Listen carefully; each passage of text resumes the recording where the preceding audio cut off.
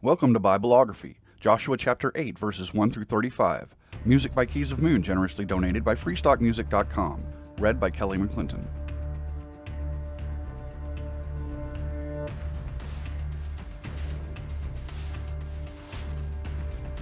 Then the Lord said to Joshua, Do not be afraid, do not be discouraged. Take the whole army with you and go up and attack Ai, for I have delivered into your hands the king of Ai, his people, his city, and his land.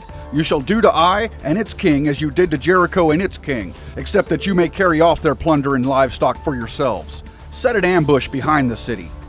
So Joshua and the whole army moved out to attack Ai. He chose 30,000 of his best fighting men and sent them out at night with these orders Listen carefully. You are to set up an ambush behind the city.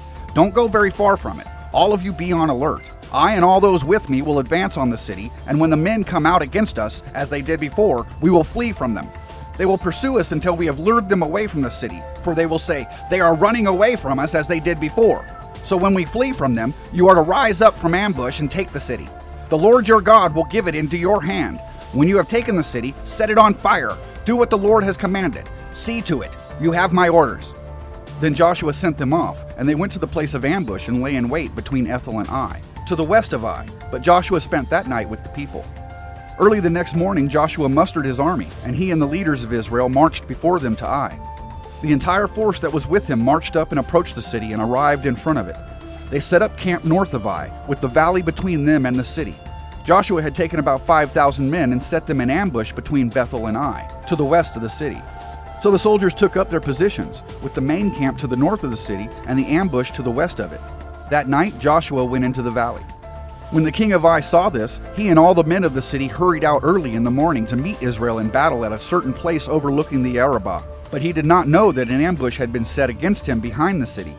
Joshua and all Israel let themselves be driven back before them, and they fled toward the wilderness. All the men of Ai were called to pursue them, and they pursued Joshua and were lured away from the city.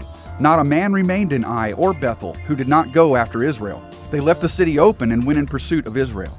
Then the Lord said to Joshua, Hold out toward Ai the javelin that is in your hand, for into your hand I will deliver the city. So Joshua held out toward the city the javelin that was in his hand.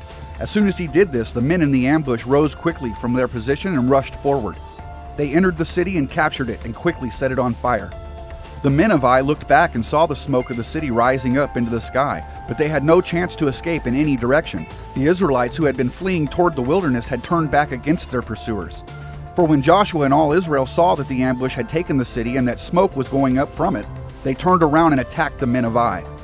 Those in the ambush also came out of the city against them, so that they were caught in the middle, with Israelites on both sides.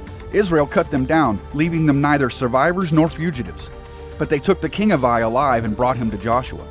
When Israel had finished killing all of the men of Ai in the fields and in the wilderness where they had chased them, and when every one of them had been put to the sword, all the Israelites returned to Ai and killed those who were in it.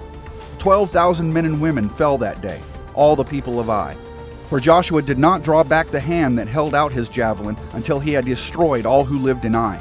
But Israel did carry off for themselves the livestock and plunder of the city, as the Lord had instructed Joshua. So Joshua burned Ai and made it a permanent heap of ruins, a desolate place to this day. He impaled the body of the king of Ai on a pole and left it there until evening. At sunset, Joshua ordered them to take the body from the pole and throw it down at the entrance of the city gate, and they raised a large pile of rocks over it, which remains to this day. Then Joshua built on Mount Ebal an altar to the Lord, the God of Israel, as Moses, the servant of the Lord, had commanded the Israelites. He built it according to what is written in the book of the law of Moses, an altar of uncut stones, on which no iron tool had been used. On it they offered to the Lord burnt offerings and sacrificed fellowship offerings.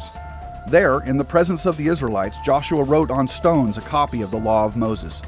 All the Israelites, with their elders, officials, and judges, were standing on both sides of the Ark of the Covenant of the Lord, facing the Levitical priests who carried it. Both the foreigners living among them and the native born were there. Half of the people stood in front of Mount Gerizim, and half of them in front of Mount Ebal, as Moses, the servant of the Lord, had formerly commanded when he gave instructions to bless the people of Israel. Afterward, Joshua read all the words of the law, the blessings and the curses, just as it is written in the book of the law. There was not a word of all that Moses had commanded that Joshua did not read to the whole assembly of Israel, including the women and children, and the foreigners who lived among them.